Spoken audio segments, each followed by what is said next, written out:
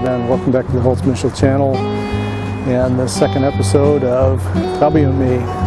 As I mentioned in the introductory uh, episode, we're going to go to historic places wherever we find ourselves in the world and uh, make connections to everyday items, everyday colloquialisms and that sort of thing. Well, today we're in the city of beer. We're in Pilsen in the Czech Republic and this is the birthplace of Pilsner beer. Now Pilsen is also known for it being the home of Skoda and some of the uh, Czech Republic's finest heavy industry. So join us in a little tour of the historic uh, beer cellars. Uh, it's a real rat maze, let me tell you. I felt like a, a rat in a, in a, in a sewer system uh, where they uh, historically mined the water for the beer that they brew here today. Um, although these wells are no longer in use as such for brewing, they still are historically significant. Um, these tunnels were also used for storage of foods and uh, various other uh, items. So anyway, hope you uh, enjoy the tour and uh, kick back, grab yourself a beer, pop one, and uh, have a sip and enjoy the show.